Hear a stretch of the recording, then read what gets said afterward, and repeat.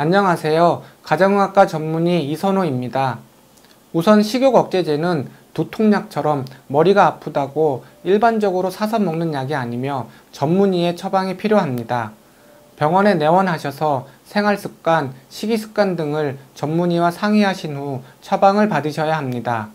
식욕 억제제에 대해 가끔 이러한 약물에 대해 부정적인 의견도 있습니다만 체중 조절을 위해서는 식이요법과 운동이 물론 가장 바람직합니다. 하지만 고도비만 환자나 식이장애 환자 등 약 처방이 필요한 경우에는 의사의 처방에 따라 안전한 약 복용이 필요합니다. 감사합니다.